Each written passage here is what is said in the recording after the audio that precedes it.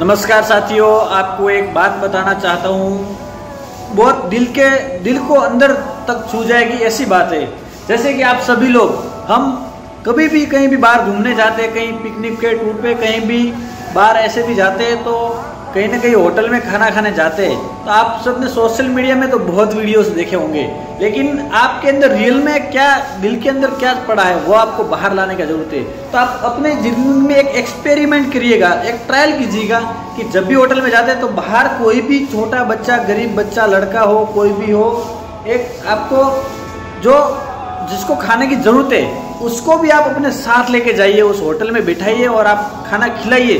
तो इस चीज़ से आप किसी गरीब को, किसी भूखे को खाना खिलाते हो तो आपकी इज़्ज़त दूसरे के आजू बाजू वाले लोगों में, आसपास जो लोग बैठे होंगे, आपकी इज़्ज़त बहुत बढ़ जाएगी। और होटल का स्टाफ भी आपको देख के एकदम सलाम करेगा कि वाह, क्या बंदा है।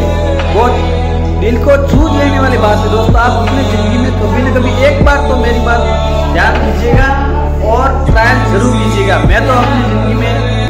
माफ़ कीजिएगा, किया नहीं ट्रायल लेकिन मेरे अंदर एक विचार आया जो मैं आप तक पहुँचाया हूँ, और मैं भी इसको फॉलो करूँगा, और आप भी इसको फॉलो करना, और इसके बारे में राय मेरे को ज़रूर बताना। धन्यवाद दोस्तों, जय हिंद, जय भारत।